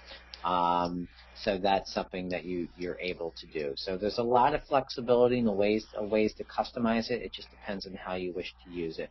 Um, lastly, um, you can go into the student's profile and you can you have historical reference to everything that's been sent out to the parents this way as well. I can go into here into parent communication. I can see all the correspondence. What I'm not able to see is the inbox of, of the teachers or, or of the parents for that matter. I can't, if you grant your teachers the ability to message parents directly, then, you know, you just, you can ask them to log in and go ahead and, and, and, and, view it, but there wouldn't be a way for you to view it from your administrator account or to go ahead and approve things before they go out. Let me, ju- let me jump, let me in, jump here. in here. we're, by the way, we're getting, a, getting a, an echo, which echo, I assume which has to do with you not using not. earphones. Thanks. Okay. Um, in general, all of us have had the experience of a teacher really sticking your foot in in their mouth and you've had to pay the price for something that a teacher wrote or said that came back to haunt you. My advice to all of us is to train our teachers properly. Get them real workshops in how to write narratives, how to write essays, help them with their grammar, you need to also ask yourself if teachers can't write well, if they're not careful, why are they teachers? And if you've got teachers that don't have those skills, what can you as a school administrator do? Well, you certainly would want to micromanage them if you feel that there's nothing that's within your power. My general advice is trust. The simple fact is your teachers and anyone in your school can do you great harm anytime they want. They don't need Montessori Compass to do it. They know how to reach these parents. They know how to sabotage you by making a remark to a parent at the pickup line or calling them up at night or at a birthday party or some other activity where they happen to speak to each other. it's the old story of if you have a bird in the palm of your hand and you open your palm and the bird flies away and returns to you, then it's your friend. And if it doesn't, then it was never yours in the first place. I think it's so incredibly important to build our schools with people who are not simply placeholders, people who we trust, people who we respect, people who we like. Maria Montessori on this topic, as you probably remember, said, if a teacher doesn't know the great things of cultural literacy, if she doesn't know the stories of the great operas, of great literature, of the ballet, if she doesn't herself have the skills, what has she got to offer a child? So a lot of this is emotional maturity. Some of it is just their own level of education, and a lot of it is emotional um, how, what kind of people have we gathered around us as our colleagues and our friends and our employees? So ideally, you're gathering around you the right people. We will be doing more workshops on how to write narratives. We will be doing things on how to build trust and community within your professional faculty between you as the head of school or the owner and your employees but I think the general concept is assume that your teachers are better than what they may actually be. If you speak to the best within a child, you have the opportunity to bring that forth from the child. The same is true with our spouses and our friends and our employees. And that's my advice. So I wouldn't worry about it. I would certainly stress to my teachers this is important. Be careful, be thoughtful, you can do great good and great harm. Don't do it casually. But I would fundamentally trust them because if they want to hurt you, they're going to hurt you anyway. Okay. I see another question that's come in, by the way. Question that's come in. I'll uh, forward it to you, Rob and Anita. Someone else, by the way, asked what the next webinar's topic's going to be. Okay, I'm, I'm back here. Um, so I'm looking at the question here. Uh, what is the most effective way for an administrator to see the student's progress on the system? Is that a different webinar?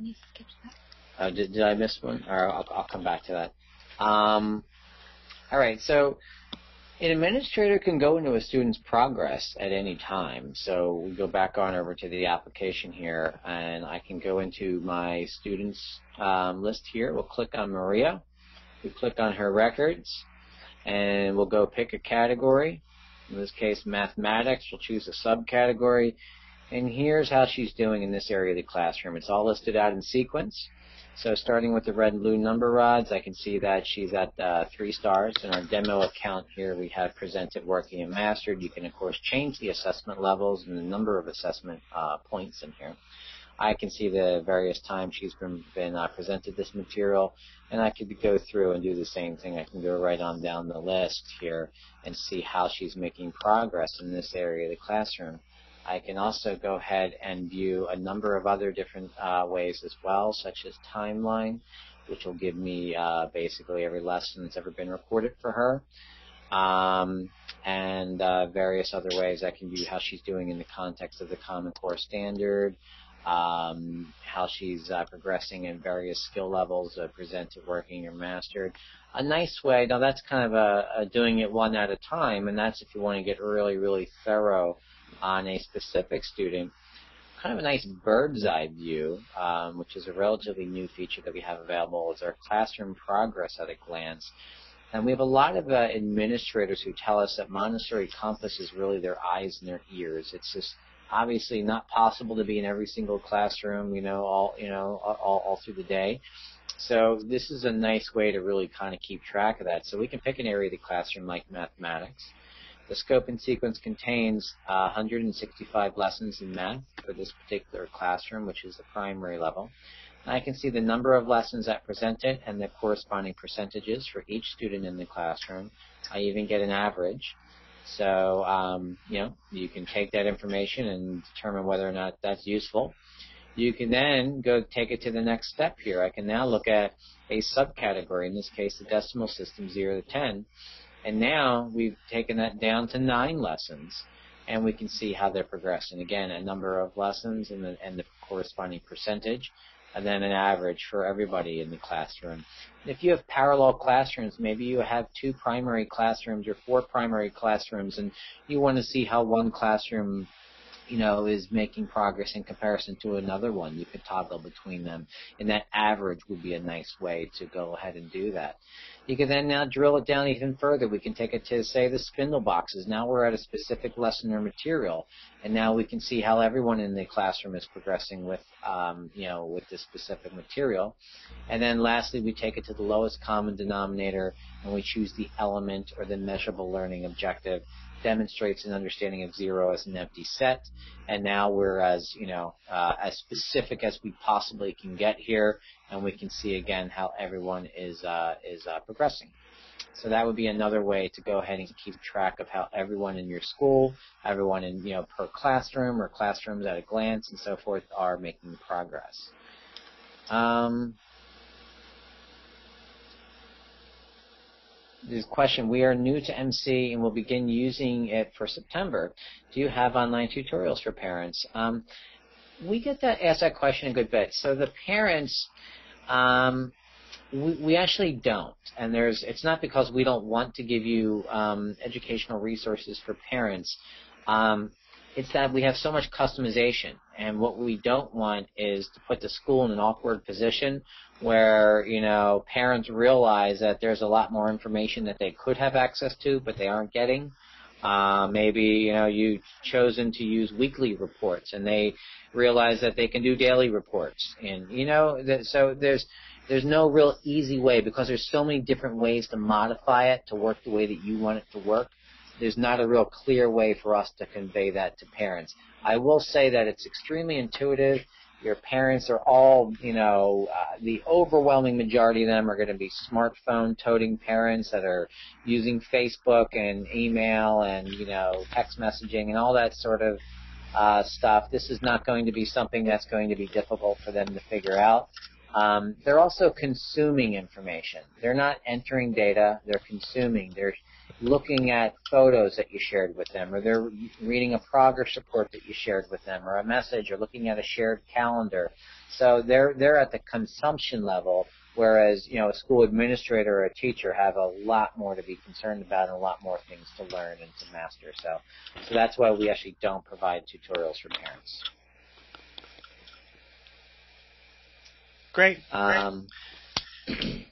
Is there a way to add or eliminate lessons or topics that are not that are are not part of the original Montessori compass scope and sequence? Um, so the curriculum is a big topic. Uh, we covered that in another session, and uh, real quickly here, you can um, view the entire scope and sequence ranging from infant through age 12 here. You can go into any of these categories here and to you know take a real good look at them. Anything that you don't wish to use, you are able to archive. Archive does not permanently delete, it just removes it from your lesson planning and your record keeping. Um, you can edit things as well, make changes, and you can also add lessons. So if there's um, aspects of a certain part of the classroom that are not in there that you wish to add, you may certainly do so at any time. If uh, there are entire categories, maybe you um, have a language program for French or Spanish or Latin or a special music program or any other sorts of programs here that maybe are outside of our scope and sequence, you can create a whole new category and you can get that information in the system as well. You can also contact us and we can help you to import that automatically via a spreadsheet. You need to follow a very specific format. We can share with you a sample format and we can import curriculum for you if you wish. Um, see if there's any other questions. Did I miss one here?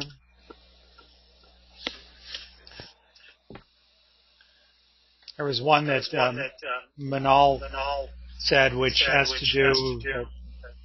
she'd love to um, to trust all her teachers, but there's always, always the worry with the new people.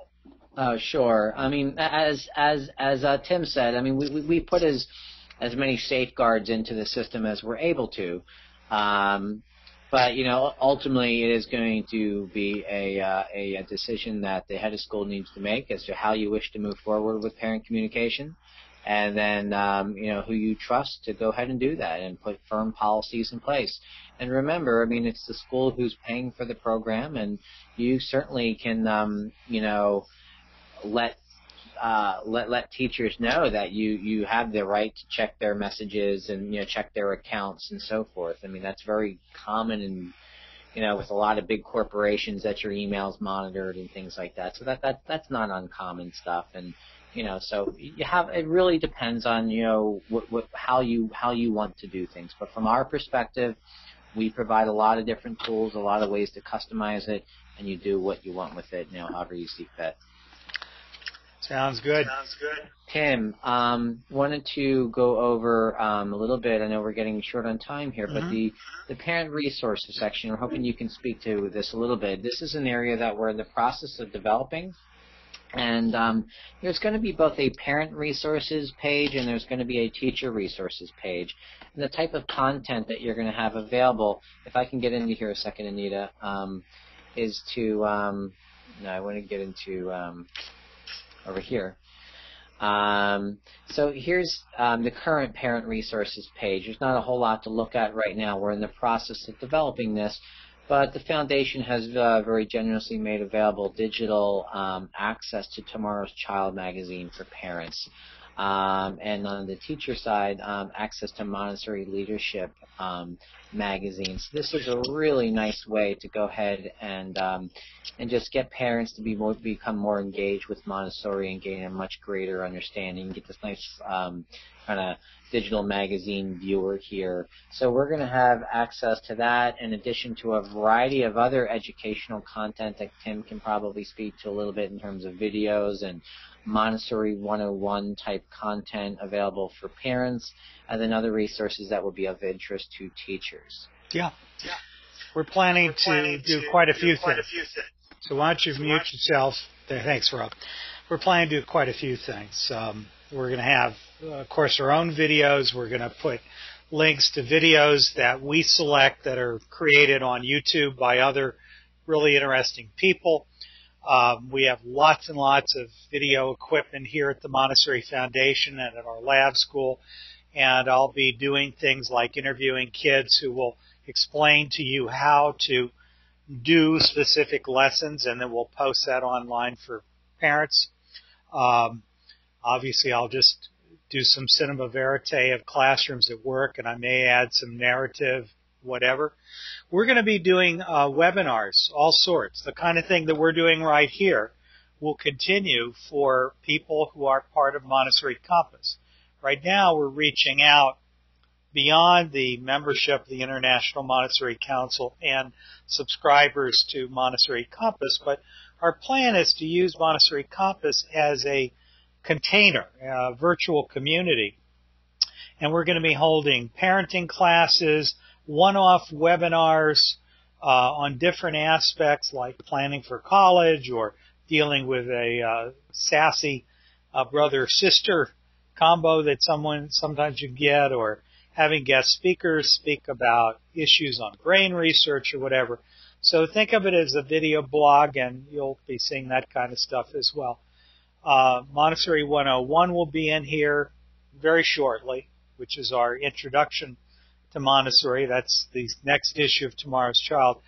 And for those of you who still really prefer paper, your parents will get both. And what I'm noticing at this stage in life is the average parent doesn't want to just read things on their iPad. They like that, but they really want a piece of paper. So you, those are both available.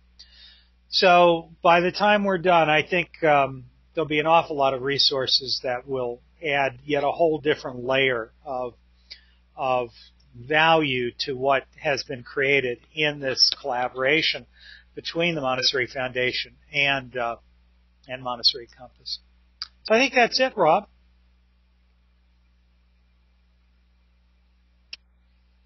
Yes. I'm sorry, I had to unmute again there. But There yes, go. uh, thank you very much for everyone uh, joining us here today. Very, uh, very happy to have you here and taking the time uh, yet again.